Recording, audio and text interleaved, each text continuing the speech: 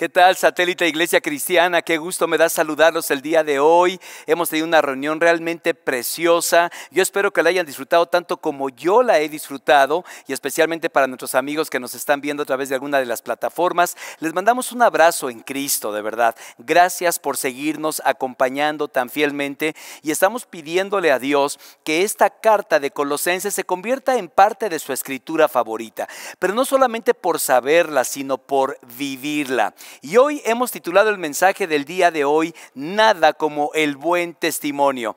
Estaba recordando a un pastor que llegó a una, con una familia, una familia un tanto complicada. Y bueno, cuando estaba el pastor ahí interactuando con ellos, de repente el padre de familia le dijo, sepa usted, pastor, que nosotros no nos avergonzamos de Cristo. No nos avergonzamos del Evangelio, tomando en cuenta ese pasaje de que no se avergüencen del Evangelio porque es poder de Dios. Entonces, después de observar el pastor la vida familiar y la declaración del hermano, digo, evidentemente yo creo que ustedes no se avergüenzan del Evangelio, pero quizá el Evangelio de ustedes sí. ¿Por qué? Porque lo que hemos venido enseñando en esta poderosa carta, que los capítulos 1 y 2 nos declaran la verdad, pero los capítulos 3 y 4 nos muestran cómo vivir la verdad. Y especialmente en lo que vamos a compartir el día de hoy, que es el capítulo 3, versículo 18, hasta el capítulo 4, versículo 6. Vamos a ver aquí tres grandes ideas que el apóstol Pablo nos presenta en cómo podemos a través de la transformación de la nueva vida en Cristo que tú y yo se supone debemos tener, entonces debe ser evidente en todo nuestro comportamiento. Es decir, tú no puedes decir, sí, soy de Cristo, etcétera, y no se te nota. Aquí la idea es que tu testimonio sea congruente en la manera como hablas, con la manera como vives. Así que de eso vamos a hablar el día de hoy. Así que les invito a ir a Colosenses capítulo 3, versículos 18 hasta el capítulo 4, versículo 6. Dice la palabra del Señor así. Esposas, sométanse a sus esposos como conviene en el Señor. Esposos, amen a sus esposas y no sean duros con ellas. Hijos, obedezcan a sus padres en todo, porque esto agrada al Señor. Padres, no exasperen a sus hijos, no sea que se desanimen. Esclavos, obedezcan en todo a sus amos terrenales, no solo cuando ellos los estén mirando, como si ustedes quisieran ganarse el favor humano, sino con integridad de corazón y por respeto al Señor. Hagan lo que hagan, trabajen de buena gana como para el Señor y no como para nadie en este mundo, conscientes de que el Señor les recompensará con la herencia Ustedes sirven a Cristo el Señor. El que hace el mal pagará por su propia maldad y en esto no hay favoritismos. Capítulo 4, versículo 1. Amos, proporciones a sus, proporcionen a sus esclavos lo que es justo y equitativo, conscientes de que ustedes también tienen un amo en el cielo. Dedíquense a la oración, perseveren en ella con agradecimiento y al mismo tiempo intercedan por nosotros a fin de que Dios nos abra puertas para proclamar la palabra, el misterio de Cristo por el cual estoy preso. Oren para que yo lo anuncie con claridad, como debo hacerlo. Compórtense sabiamente con los que no creen en Cristo, aprovechando al máximo cada momento oportuno. Que su conversación sea siempre amena y de buen gusto, así sabrán cómo responder a cada uno. Dios bendiga la lectura de su preciosa palabra. Bueno, aquí encontramos algunas instrucciones del apóstol Pablo que otra vez está insistiendo, de modo que si hemos nacido de nuevo, si ahora nos hemos quitado el viejo ropaje y nos hemos puesto el ropaje nuevo, hablando espiritualmente, se supone que eso se tiene que notar en nuestras relaciones interpersonales. Tiene que verse a través de nuestro testimonio. Y es muy interesante porque el primer tema que toca el apóstol Pablo tiene que ver con la familia. Y yo les he dicho una y otra vez que para alguien que sirve a Dios como un servidor, todos los líderes de esta iglesia que servimos a Dios, nuestros sinodales número uno en nuestra vida son nuestra esposa y nuestros hijos. Porque a lo mejor a ustedes podemos engañarlos, a lo mejor a ustedes les podemos hacer creer que todo marcha de maravilla en casa, ¿verdad? Pero a ellos no, porque vivimos 24/7. Vivimos todo el tiempo con ellos, interactuamos con ellos, platicamos con ellos, nos enojamos con ellos, nos encontentamos con ellos. Así que es muy interesante que el apóstol Pablo, el primer tema que toca tiene que ver con la familia. Y esto me lleva para ti y para mí a la primera de las enseñanzas que el apóstol Pablo quiere dejar en nuestro corazón con relación a las nuevas relaciones saludables que tú y yo debemos tener. Así que si no tienes cuidado, vas a pensar que todos los demás en el mundo, eh, este mensaje es para todas las demás personas en el mundo menos para ti. Así que ahora mismo abre tu corazón porque seguro Dios quiere hablar a él. La nueva vida en Cristo implica tener nuevas maneras de relacionarme con otros. Número uno, toma nota, elijo enfocarme en mi familia. Ustedes saben que uno de los valores, y los puedes, los puedes consultar saliendo aquí si es la primera vez que estás con nosotros, cuando salgas del lado izquierdo vas a encontrar en la pared nuestros valores centrales de esta iglesia. Y uno de ellos tiene que ver con familia. A ver, dígalo conmigo familia, es un valor central. Y los primeros pasajes de estos textos, de este texto que estamos viendo, tiene que ver con la familia. Ahora, hay tres relaciones familiares que habla Colosenses capítulo 3 desde el versículo 18, si lo observan. Esposos, esposas, padres e hijos. Y luego dice amos y siervos o esclavos. Nada más quiero explicar esto rápidamente porque los esclavos en el tiempo greco-romano eran parte de la familia y por eso el apóstol Pablo no está alentando la esclavitud, no está diciendo que la esclavitud sea correcta, pero esa era la manera de existir en ese, en ese tiempo. Es más, alguien ha dicho que por cada eh, residente en Roma tenían un esclavo, eso significa que la mitad de la gente era esclava. Y yo voy a dar una aplicación de ello, esperando que sea de bendición para nuestras vidas. Pero entremos en materia para ver exactamente qué es lo que tenía en mente el apóstol Pablo cuando está hablando de tres relaciones. ¿Cómo te relacionas con las personas? Y especialmente los esposos, luego los padres y los hijos, luego yo hablaría de los empresarios y los empleados. Pero vamos a ver que son tres plataformas a través de las cuales tú puedes manifestar que tu nueva vida en Cristo tiene nueva manera de relacionarte con ellos.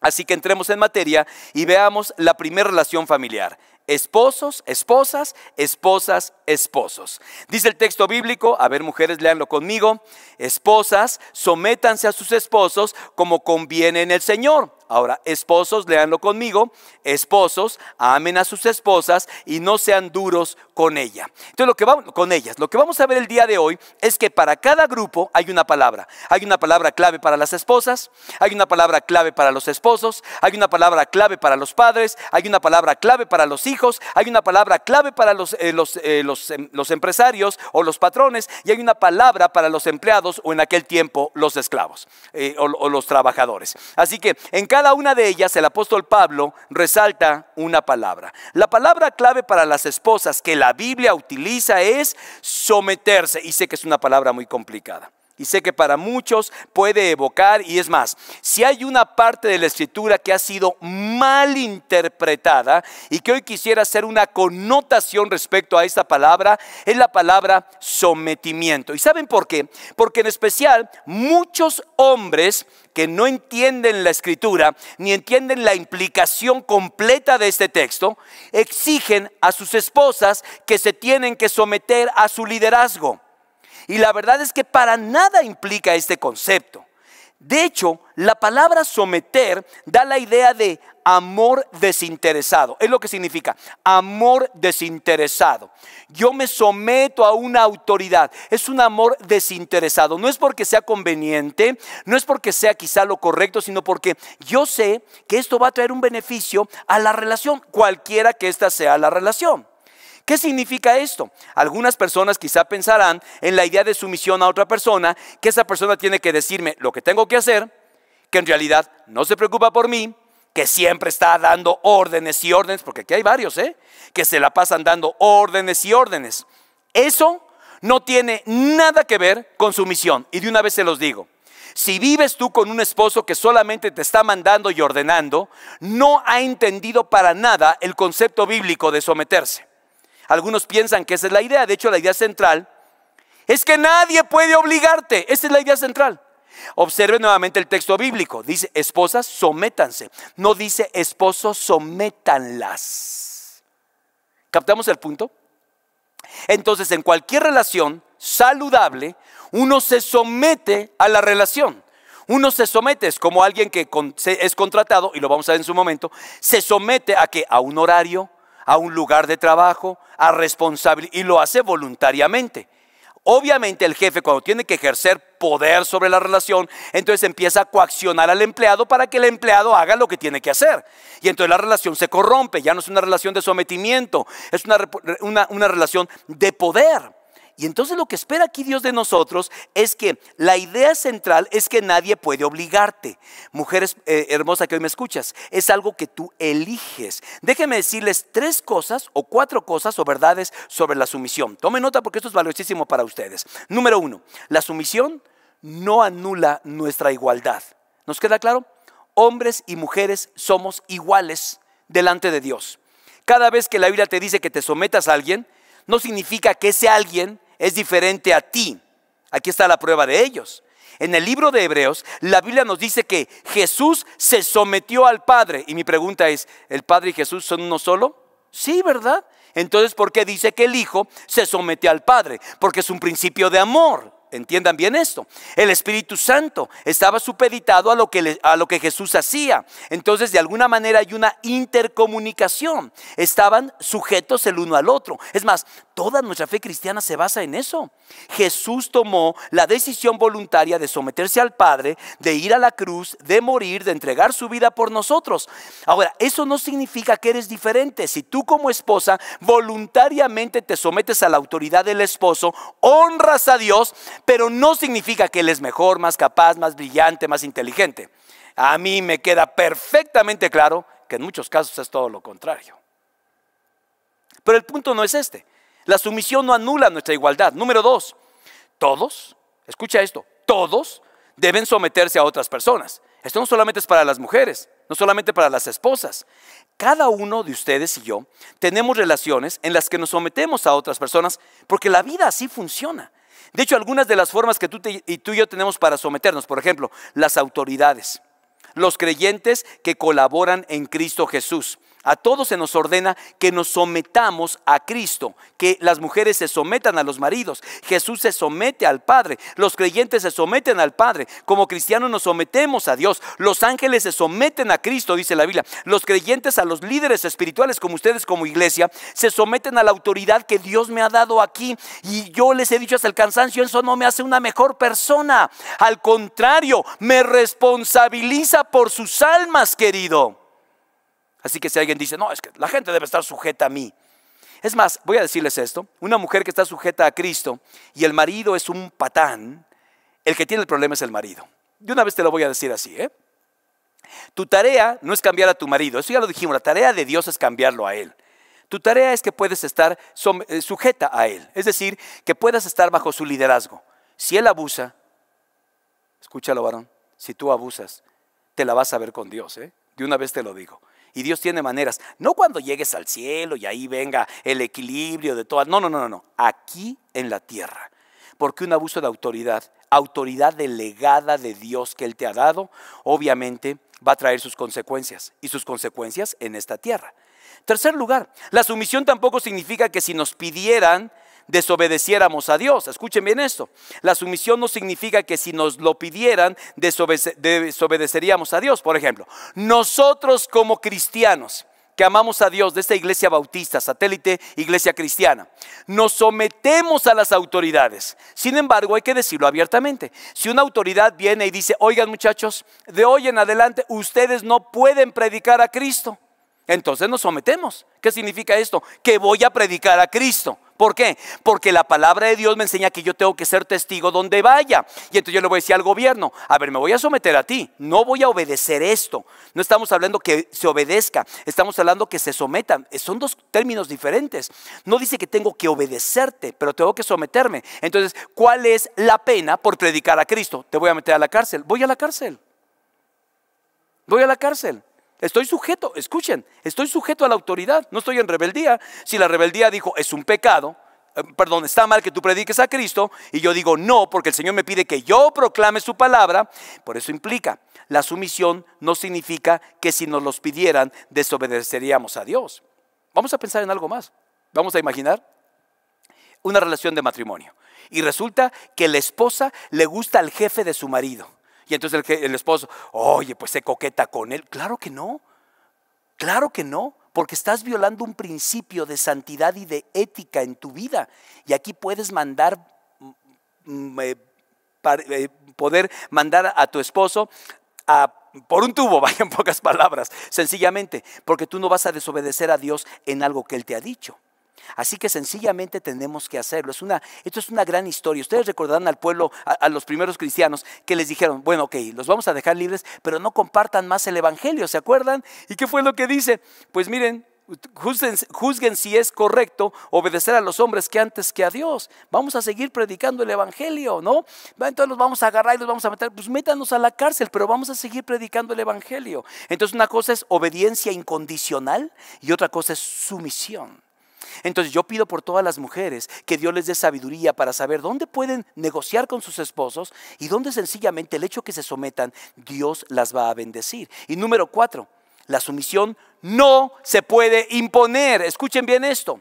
Cada vez que le dices a tu esposa, tienes que someterte a mí, no va a funcionar. Es más, no funciona ninguno. Es como si yo me levanto y les digo, oigan señores, oigan hermanos preciosos, de hoy en adelante van a hacer lo que yo les diga. ¿Por qué? Porque soy el pastor de esta iglesia. Todos van a decir, ay, no, sí, lo que tú digas. Claro que no. Voy a generar una animadversión entre ustedes y yo, porque no podemos someter a nadie a la fuerza, querido. Así que este término espero que haya quedado bastante explicado, porque no puedes imponer eso. Esposas dice, sométanse. Y dice, maridos, no dice que hagan sujetas a sus esposas. Ahora, la verdadera clave de la sumisión en el matrimonio va más allá. Existe la responsabilidad de los, de los esposos sobre el liderazgo que a veces no asumen. Y yo entiendo. Hay mujeres que dicen, pero ¿cómo voy a someter este cabezadura si él no tiene ni siquiera temor de Dios? Yo entiendo ese punto. Pero la Biblia no dice en letras chiquitas, sométete, bueno, siempre y cuando sea un gran hombre de Dios. Y si no lo es, tú tienes que someterse, someterte. Y eso significa estar bajo su liderazgo, siempre y cuando no comprometa tu integridad física, tu integridad espiritual y tu comunión con Dios. Porque la sumisión en la esposa aparta al te aparta del camino de que venga la disciplina también sobre ti. Hay una profunda verdad espiritual en esto. La palabra clave para los esposos, porque hablamos bastante acerca de la esposa, hablemos de los esposos, que no crean que es más fácil, es más complicada. Anótala. La palabra clave para los esposos es amor. Alguien dijo que el matrimonio es cuando aceptas pasar el resto de tu vida durmiendo en una habitación demasiado cálida junto a alguien que duerme en una habitación demasiado fría. Somos diferentes unos a otros y el amor y el respeto mutuo son increíblemente importantes y va al corazón de los varones. Pablo está diciendo, si tú eres una persona nueva, esta es la nueva manera en que te relacionas con tu esposa. ¿Por qué? Porque vas a respetarla. ¿Por qué? Porque vas a amarla. Es que es muy difícil cuentas con el amor de Cristo en tu vida. Él te va a dar esa capacidad de amar, de perdonar, esa capacidad de tolerar. Podrás amar a alguien sacrificialmente como nunca antes lo has hecho porque tienes la fuerza de Cristo. O no vamos a ser perfectos. Ninguno de los esposos que estamos acá somos perfectos de ninguna manera. Pero puedo seguir trabajando el resto de mi vida con eso. Y me gusta lo que Pablo dice cuando habla del amor que expresan los esposos. Señala, especialmente cuando expresas tu amor, no seas duro con ella. ¿Escucharon varones? No seas duro con ella. ¿Qué significa esto? Es importante que lo entiendas. ¿Por qué? Porque él dice que es fácil ser duro con las esposas. Es fácil, a cualquiera, ninguno de ustedes les cuesta trabajo.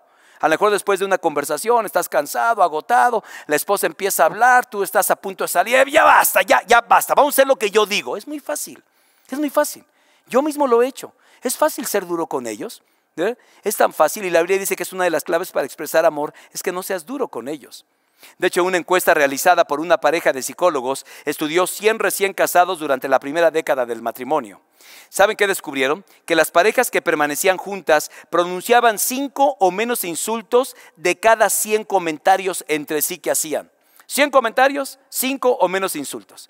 Pero las parejas que infligieron el doble de heridas verbales, es decir, hablaban 10, 20, 10, 20 veces estaban ofendiéndose, obviamente fueron más propensas a separarse. Esto tiene sentido. Hay algo en las palabras nuestras que construye las relaciones de una manera muy poderosa. Y hay algo en tus palabras que las destruye, las pulveriza. Entonces, la dulzura de las palabras y las acciones de amor son una clave que tú tienes que desempeñar. En cierta ocasión escuché una historia de una pareja que estaba cumpliendo 50 años de casados y alguien por ahí les preguntó que cuál era el secreto. Y saben que la abuelita se levantó y dijo, el día de mi boda decidí elegir 10 de las faltas de mi esposo que por el bien de nuestro matrimonio pasaría por alto. Me gusta esto. 10 de las faltas que encontraría en mi esposo que por bien de la relación pasaría por alto. Entonces uno de los invitados se levantó y dijo, ¿puedes decirnos uno de los 10 que tenías? Y ella dijo, a decir verdad, nunca llegué a numerarlos. Cada vez que mi esposo hacía algo que me enojaba mucho, me decía, qué suerte para él, porque esta es una de las diez. Así es, querido, eso es parte de la relación matrimonial. Luego viene niños padres, niños padres. Y para los niños, para que hoy hablen con ellos en la noche, la palabra clave para ellos es obedecer. Entonces vayamos recapitulando para las mujeres, sujetarse, para los hombres, amar, para los niños, obedecer. ¿Sabías que la palabra obedecer significa escuchar debajo de alguien? Me encanta esta declaración. Escuchar debajo de alguien, eso es la palabra obedecer. Porque alguien diría, alguien escucha y entonces actúa y obedece, pero la palabra simple obedecer es escuchar debajo de alguien. ¿Qué significa? La importancia tuya y mía de que seamos completamente claros con los hijos acerca de lo que esperamos de ellos. Porque has escuchado que se dice, hay que sacar la basura, Gerardo saca la basura, Juanito saca la basura, y entonces no lo hacen. ¿Por qué? Porque no te escucharon. No se puede obedecer lo que no se escucha. Por eso los hijos tienen la responsabilidad de obedecer. Pero esto le está diciendo a ustedes los padres la responsabilidad de asegurarnos de que escuchen. Porque no pueden obedecer. Entonces necesitamos pasar tiempo con ellos para explicarles qué es exactamente lo que queremos de sus vidas. Si la obediencia significa que escuchas a alguien, si no lo decimos de la manera que no puedo oírlo, no le damos la oportunidad de ser obediente. Así que la palabra clave es obediencia. La palabra clave para los padres. La palabra clave para los padres es no. No. A ver, vayamos. Para los para las esposas someterse, para los esposos amar, para los hijos obedecer, pero para los padres no. Y alguien dirá, ¿cómo que no? Vamos a ver qué significa. Tanto en Efesios como aquí hay algunas cosas que hacemos que no deberíamos de hacer porque vamos a irritar a nuestros hijos. Y yo prediqué sobre esto el Día del Padre. ¿eh? Nada más quiero dar algunas recomendaciones. Tres cosas que exasperan la, vida de nuestros hijos. Tome nota, por favor, porque todos ustedes, igual que yo, fuimos hijos y van a decir, si es cierto, estas cosas nos acaban de onda, como dicen los chavos. Número uno, no los insultes. No los insultes. Es fácil decir un insulto, pero ahí hagan las palabras, especialmente de los papás varones, que tienen un terrible peso en la vida de nuestros hijos. Un amigo los puede insultar, un maestro los puede insultar, un entrenador los puede insultar, pero cuando tú los insultas, tiene un peso lacerante en su vida. Por eso hay hijos que hoy en día han crecido y dicen, es que mi papá me dijo espacio en blanco. Es que mi papá nunca me dijo espacio en blanco pesan tanto las palabras de nosotros. Entonces, en lugar de estarlos insultando, ellos lo que necesitan son palabras de aliento. Esto no significa que no seas firme al disciplinarlo. A veces puede ser que estés notando algo negativo, pero es muy fácil combinar la disciplina con insultos. Número uno, no lo hagas. Dos, no los ignores. El segundo no, no los ignores. Es probablemente lo que más hacemos con nuestros hijos. Nos ocupamos de nuestras vidas, tenemos trabajo, tenemos que llevar, dicen, la chuleta al plato, tenemos que pagar colegiaturas, tenemos que pagar cuentas médicas, etcétera. Entonces alguien dice, no tengo tiempo para los hijos. Y miramos para atrás y todos acá estamos de acuerdo que no queremos ignorarlos. O sea, un padre que no, sí los ignoro. No, no queremos ignorarlos en realidad. Pero luego se van los meses, se van los años y es una de las cosas que los exasperan. ¿Sabes qué sería muy práctico? Toma una cita por lo menos una vez a la semana o una vez cada 15 días con cada uno de tus hijos. Vete a tomar un, refresquito y escúchalos nada más. Un heladito, un cafecito. Platíquenlo, es lo que tienes que hacer. Es más fácil ignorar que ponerles atención. Nos vamos por el lado fácil. Y ellos se irritan. ¿Por qué? Porque los estamos ignorando y algunas veces tenemos nuestros hijos favoritos y por lo general ellos se parecen a nosotros. Número tres, no los consientas, no los consientas. ¿Qué significa esto? Escuchen, es que va de la mano. Al ignorarlos, cuando sabemos que no estamos haciendo lo necesario con ellos, entonces ¿qué hacemos? Los consentimos. Por ejemplo, los que viajamos mucho. ¿Han visto en los aeropuertos la cantidad de tiendas que tiene cosas atractivas como juguetes, dulces, chocolates, teléfonos para nuestros hijos? ¿Por qué? Porque ahí van, en esos aeropuertos vamos, personas que estamos muy atareadas, que salimos a hacer negocios, a dar una conferencia, a predicar en algún lugar y que nos llamaron, etcétera. Y entonces estamos, y estamos en el, con el corazón de que no les hemos dedicado tiempo. Entonces, ¿qué hacemos? Les compramos cosas para compensar el dolor de haberlos abandonado. Por eso, dedícales tiempo y entonces ya no vas a tener que comprarles tantas cosas. No los consientas comprándoles cosas. ¿Por qué? Porque estás lejos. Y si estás mucho tiempo fuera, tal vez necesitas complacerlos. ¿Qué quieres realmente de nosotros? ¿Saben qué quieren los hijos?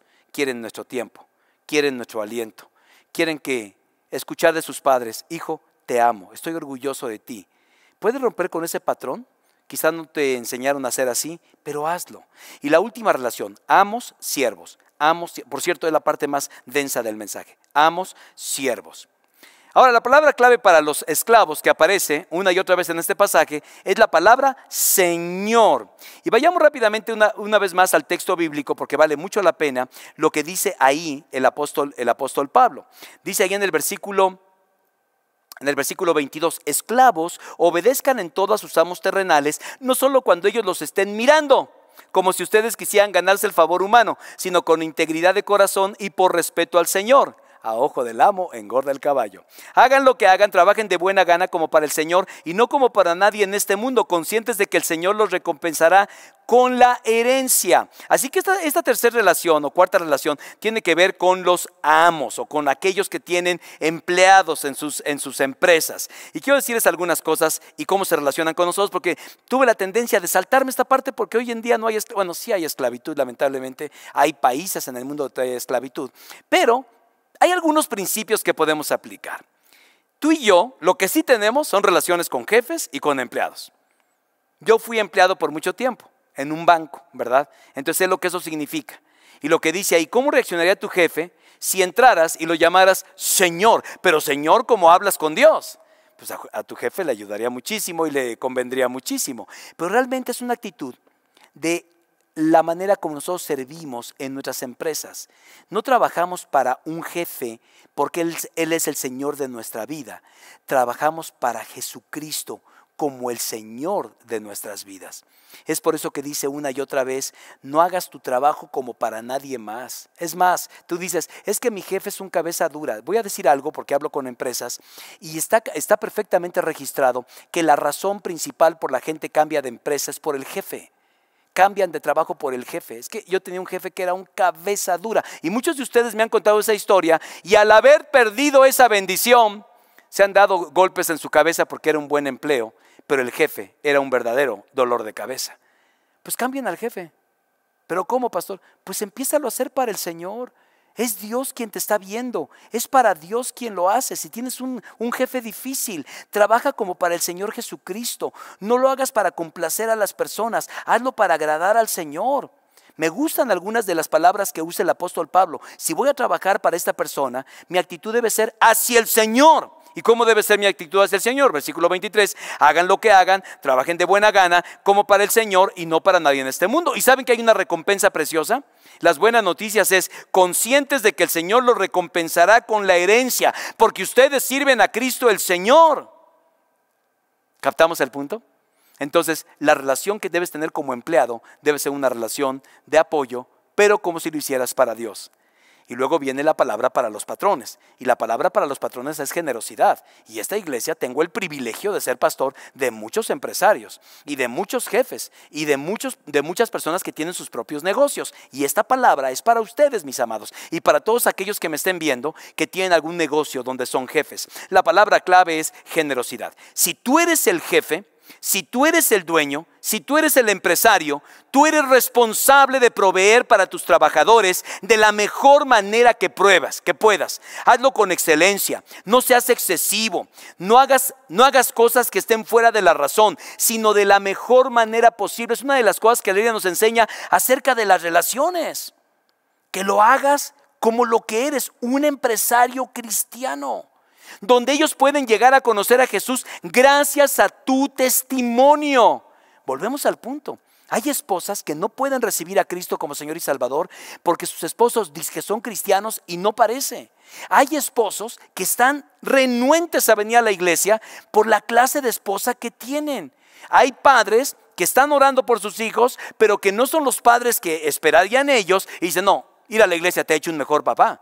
O viceversa, hay padres que están o hijos que están eh, en, en, Cristo y quieren que sus papás vengan, pero son hijos desobedientes. Volvemos al punto. Todo esto tiene que ver con el testimonio. Entonces, ¿cuál es mi relación?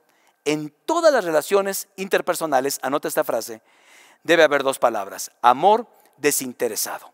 Si tú has nacido de nuevo, esa es tu responsabilidad. Pero además, una segunda cosa es que debo elegir ser un creyente de oración. Aquí es muy interesante porque el texto bíblico, versículo 2, dice, dedíquense a la oración, perseveren en ella con agradecimiento y al mismo tiempo intercedan por nosotros, a fin de que Dios nos abra las puertas para proclamar la palabra, el misterio de Cristo por el cual estoy preso. Versículo 4, oren para que yo lo anuncie con claridad cómo debo hacerlo. Ahora, si voy a tener una relación emocionante con Dios, debo dedicarme a la oración. ¿Cómo hago esto? ¿Cómo convertirme en un hombre de oración, en una mujer de oración? ¿Qué significa dedicarse a la oración? Dos consejos son simples. Número uno, siendo atento a lo que Dios está haciendo en el mundo.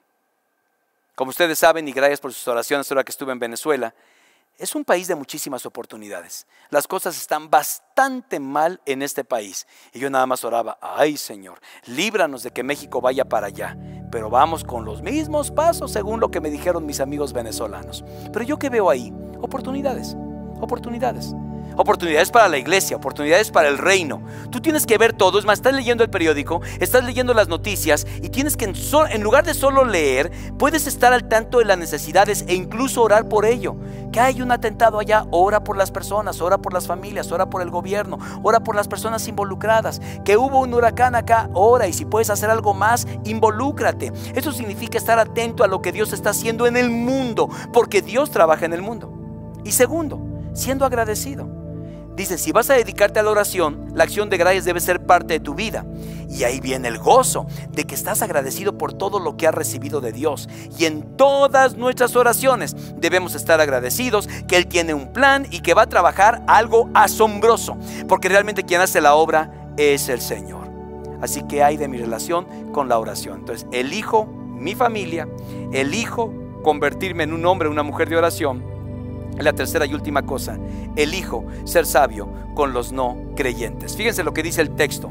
Y al mismo tiempo intercedan por nosotros a fin de que Dios nos abra las puertas para proclamar la palabra, el misterio de Cristo por el cual estoy preso. Oren para que yo lo anuncie con claridad. ¿Cómo debo hacerlo? Compórtense sabiamente con los que no creen en Cristo, aprovechando al máximo cada momento oportuno. Que su conversación sea siempre amena y de buen gusto, así sabrán cómo responder a cada uno. Para ir al final de mi mensaje, quiero decirte tres formas específicas en que podemos relacionarnos con los que no son cristianos. Sí, el apóstol Pablo nos da la guía. Número uno, orando por ellos. Saben que esta iglesia es una iglesia para todos. Si es la primera vez que estás con nosotros, bienvenido.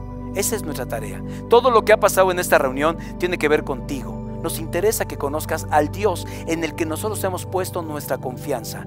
No estamos diciendo más que cómo encontrar pan, un mendigo diciéndole a otro mendigo dónde encontrar pan. Y la oración es la clave para acercarte a ellos. ¿De qué debemos de orar? Específicamente por dos cosas. Ora por una puerta abierta. Si tienes un amigo, tienes un familiar, un compañero de trabajo, un profesor, un jefe, un empleado, Pide al Señor que te dé una puerta abierta para que tú puedas llegar y compartirle el mensaje de salvación de Cristo. Pídele, pídele, Señor, dame una oportunidad, abre una puerta. Dios puede abrir puertas. Es más, Dios está abriendo puertas para muchos de ustedes y ustedes ni enterados. ¿Por qué? Porque ni están orando por ellos. Entonces oren por sus vecinos, oren por sus amigos, oren por compañeros de trabajo, oren por familiares, pero oren por una puerta abierta. Y segundo lugar, oren por un mensaje claro. Dice el apóstol Pablo, oren por mí para que pueda llevar con claridad el mensaje. Entonces pídele al Señor y para eso tenemos cursos de capacitación para entrenarlos a cada uno de ustedes para compartir su fe. Porque no es que agarres bibliazos a las personas, de ninguna manera, querido. Dios nos ha llamado a ser sal y luz en el mundo. Y tu tarea y la mía es aprovechar las puertas que Dios abre con las personas que no le conocen para dar testimonio del maravilloso Señor Jesucristo a quien amamos. Por eso tenemos que orar. Pero hay una segunda cosa, mostrando sabiduría en tu forma de actuar. No solamente sé amoroso, ora por ellos, sino sé sabio. ¿Te ha tocado la oportunidad de que una persona no cristiana te hace preguntas que no puedes responder? ¿Qué es lo que estás diciendo? Número uno, ora y luego pídele sabiduría al Señor. ¿Cómo te estás relacionando con esa persona? ¿Estás siendo amable? Primeramente, antes de verter toda tu teología sobre Él, ¿has entendido cuál es su problemática? ¿Has abierto tu corazón para que Él te cuente? Porque hay personas que hablan y hablan y hablan y hablan y hablan y hablan y hablan y ni siquiera dan oportunidad de que la gente exprese cuáles son sus necesidades. Yo por eso puedo, es un puente maravilloso y una puerta. Tengo un, voy a estar orando por usted, alguna petición de oración que tengas. Y entonces la gente habla y tú aprovechas esta oportunidad. Se le llama sabiduría, que Dios te dé sabiduría en las circunstancias adecuadas. Y número tres, mostrando gracia en tu forma de hablar. Fíjense lo que dice, compórtese sabiamente con los que no creen en Cristo, aprovechando al máximo cada momento oportuno, que su conversación sea siempre amena y de buen gusto, así sabrán cómo responder a cada uno. Saben, este es uno de los grandes versículos de la Biblia sobre cómo ser un testigo increíble donde quiera que estés cada día de tu vida. En cada conversación permite que Cristo sea parte de ella. Ahora, no es que estés todo el tiempo atosigando a la gente. Lo que estás diciendo al ser parte Cristo de ella es préstales atención, ámalos, ministra su corazón, está pendiente de sus necesidades, llámales por teléfono, hay algo que yo pueda hacer por ti. Es como involucras a Cristo. Y no solamente estás evangelizándolos y diciendo los pasajes de la Biblia todo el tiempo, tienes que ser sabio en ello. No, necesariamente usamos el nombre de Cristo en la conversación, pero sí permites que tu relación con Cristo se convierta en parte de la relación con esta persona que está viviendo sin Cristo y sin esperanza. Y si nunca hablas del Señor en ninguna de tus conversaciones, pues ¿cómo va a llegar alguna persona a conocer al Señor? Alguien dice, es que me cuesta mucho trabajo compartir mi fe. Entonces quiere decir que tú estás esperando ir al cielo y que nadie se vaya contigo. Al principio va a ser difícil, pero comparte tu fe. Comparte en quien has creído, lo que antes era y lo que hoy eres. Y deja que el Señor haga su obra. No todos ustedes son evangelistas, me queda claro. No todos van a llevar a cientos de personas a los pies de Cristo. Pero sí pueden llevar a cinco, a seis, a diez, a veinte. ¿No sería precioso que cuando llegaras al cielo Dios te preguntara, ¿vienes? ¿Y, cuántos vienes vienen contigo? Todos estos, Señor. Que tuve la oportunidad de compartirles, que tuve la oportunidad de amarlos, de ver por ellos y entonces te conocieron a ti como Señor y Salvador. Y cuando empieces a hacer estas cosas algún día, te darás cuenta que eres una persona que nunca pensaste que llegarías a ser. Buen testimonio involucra tomar la decisión de poner a tu familia en un lugar correcto. Padres, hijos, esposo, esposa, empleados, este, jefes, etcétera, que te conviertas en un hombre de oración, que le pidas a Dios ver el mundo como Él lo ve y aprovechar las oportunidades. Y tercero, que tu manera de relacionarte con los que no conocen del Señor sea tan atractiva que la gente diga, yo quiero algo de lo que tú tienes. Y tú puedas decirle, es Cristo el único que puede cambiar nuestra vida. Y sabes que para ello tenemos que ser profundamente intencionales. Vamos a entonar un precioso canto que habla precisamente de los cambios que Dios hace de vidas hechas pedazos, de muros caídos, de relaciones quebrantadas y cómo Dios puede, a través de este proceso que hemos visto en Colosenses, cambiar completamente nuestra historia para que a partir de hoy la mejor parte de ella la escribamos juntos. Cantemos a nuestro Dios llenos de gozo en nuestro corazón.